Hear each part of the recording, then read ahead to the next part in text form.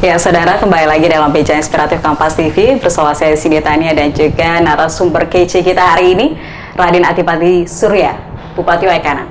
Bang Adipati, kita berbicara tadi banyak banget uh, fokus uh, dari pembangunan Anda. Yang pertama adalah infrastruktur menjadi fokus kita. Tapi tidak terlepas bahwa Waikanan memiliki potensi yang begitu besar. Yeah Mungkin salah satunya adalah dari bidang pariwisata yeah. yang kita dengar banyak banget sekarang sudah uh, mulai yeah. tershow up begitu. Yeah. Mungkin ada upaya dari Anda untuk bisa um, memperbaiki fasilitas dari pariwisata kita? Ya, jadi uh, Waikanan tuh banyak pariwisata, hmm. tapi memang uh, selama ini belum tergali. Kita coba menggali itu karena saya pikir pariwisata maju itu pemberdayaan masyarakatnya hidup pasti karena di sekitar itu pasti ekonominya bisa ber ini mungkin UMKM-nya juga bergerak ya kan dan yang lain dan sebagainya. Nah saya saya konsentrasi ke situ. Makanya tahun kemarin tahun ini kita membangun infrastruktur ada 100 eh, sorry ada 9 miliar saya bangun infrastruktur yep. di, di, di, di jalan menuju ada Putri Malu namanya Juku Batu Kampung Juku Batu Kecamatan Banjik namanya Putri Malu pokoknya sudah oke okay lah, udah keren lah pokoknya itu air terjun. Uh, saya pikir Mbak juga kalau nggak ke sana kayaknya rugi dia harus datang ke sana. Dan sekarang saya lebih perbaiki infrastruktur. Insya Allah selesai, sudah selesai.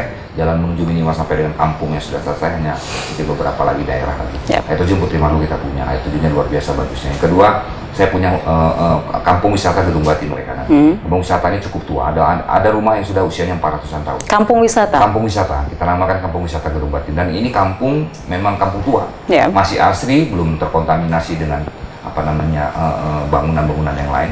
Ini coba kita kembangkan sekarang. Jadi nanti ini tanggal 20 tanggal 6 sampai dengan tanggal 9 yeah. kita ada bambu rafting namanya. Nah, bambu rafting. Bambu rafting uh, tingkatnya tingkat nasional kita coba jadi kalau selamanya orang perahu semua kita coba pakai bambu. Sekarang bambu. nanti juga akan ada di Gedung Batin juga. Nah ini kita kembangkan terus, ya kan. Kemudian saya saya menggalakkan uh, uh, apa namanya komunitas wisata di sana untuk bisa membantu mengembangkan pariwisata yang ada di Kabupaten Waikanan. Tapi memang membangun pariwisata itu nggak mudah, yeah. butuh waktu ya. Nggak seperti kita bangun jalan. Kalau yeah. kita bangun jalan hari ini kita bangun sudah kelihatan. Tapi kalau bangun pariwisata ini kan butuh waktu. Ada promosi yang cukup harus terus kencang kita kita lakukan kemudian pemerintah apa namanya sehingga masyarakat tahu masyarakat hmm. Waikanan maupun masyarakat di luar Waikanan supaya mau berwisata ke tempat pariwisata yang ada di Waikanan. Oke luar biasa sekali berbicara mengenai pariwisata dan juga melihat bahwa Waikanan ini kan cukup luas begitu. Ada hmm. banyak suku di dalamnya yeah, tidak hanya si yeah, Waikanan begitu yeah, kan. yeah. terus kemudian uh, Anda bersama dengan tim kemudian juga uh, menerjunkan langsung ke masyarakat. Kemudian Anda pernah uh, merasakan atau melihat langsung kondisi masyarakat atau apa yang benar-benar diperlukan oleh masyarakat? Saya tiap waktu tuh turun jadi apakah itu pengajian, apakah yeah. itu ya. memang waktu saya selalu karena saya tadi saya sampaikan bahwa saya ingin dekat sama masyarakat. Bahkan kalau di Waikanan masyarakat nggak perlu susah. Mbak coba oh, aja ya? nanti. Uh, hmm. Kalau mau beraudiensi dengan Bupati Waikanan itu gampang nggak sih? Sangat mudah Sangat begitu? Sangat mudah. Berarti tidak dipersulit ya? Oh, enggak. Jadi saya bahkan orang bisa berkomunikasi dengan saya hmm. itu nggak hanya uh, apa langsung ketemu dengan saya.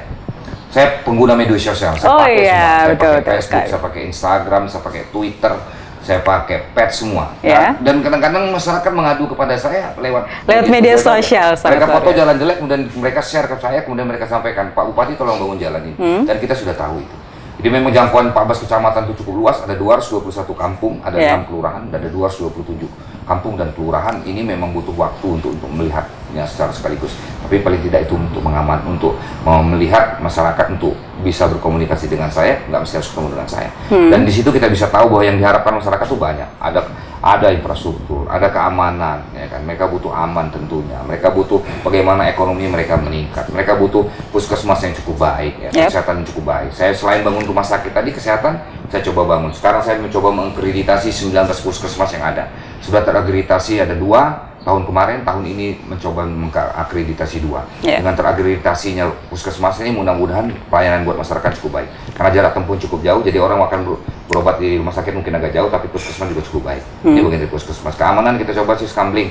Ya kan? Mereka butuh keamanan tadi kita jawab dengan kita menggalakkan siskambling ronda malam sekarang.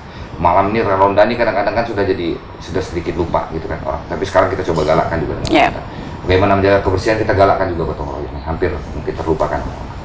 Baik, melihat uh, Anda uh, baru beberapa uh, ya, tahun ini menjabat, kemudian uh, sempat menjadi ketua hmm, DPRD, yes. kemudian hmm. sekarang juga berupaya untuk yeah. uh, melanjutkan yeah. menjadi bupati, kemudian uh, kita tidak menampik bahwa sebelumnya sempat uh, Waikanan dipegang oleh salah satu uh, bupati ya, Waikanan begitu.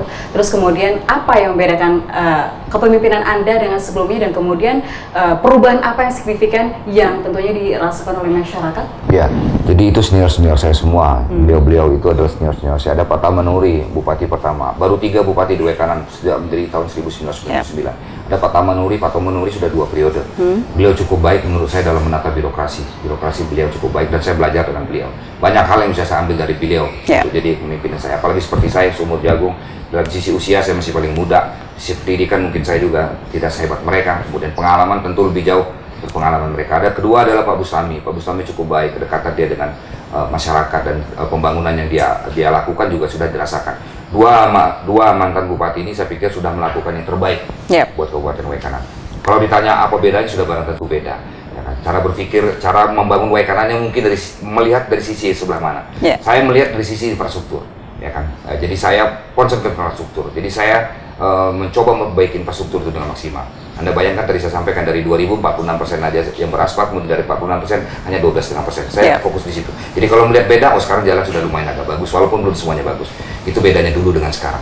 Kemudian itu tadi, kalau dulu mungkin uh, zaman dulu mungkin belum menggunakan media sosial, sekarang saya pakai media sekarang sosial. sudah sangat dimudahkan sekali. Sangat luar biasa. Hmm. Saya bisa bantu anak yang apa namanya tulang punggungnya bengkok, ya ke tulang punggungnya bengkok sekali anak itu sekarang masuk SMA kelas 1 SMA bengkok sekali. Jadi terlihat sekali bengkok hanya dari Facebook mereka kirim ke saya ke yeah. saya. Saya perintahkan kepala puskes saya perintahkan camat urus sekarang insya Allah akan operasi di di rumah sakit di Jakarta. Dan hebatnya lagi itu jadi bahan penelitian oleh dokter dari Jerman dan dari uh, saya lupa Inggris atau Jerman yang akan meneliti. Hmm. wah itu langka sekali tulang bisa bengkok betul. Nah ini ini bagian karena media sosial tadi kalau tidak saya tidak tahu ada masyarakat saya seperti yeah. itu. Nah ini mungkin uh, beda-bedanya. Tapi niatnya pasti yakin sama niat uh, Pak Pak Tamanuri niat Pak Busami niat saya juga sama Baik. bagaimana bangun Waikanan ini Baik. bisa lebih baik Luar biasa sekali. Kita akan ya. segera kembali, okay. Pak. Masih akan berbincang okay. bersama Bupati Kece ini. Tetaplah di Bincang Inspiratif Kompas TV.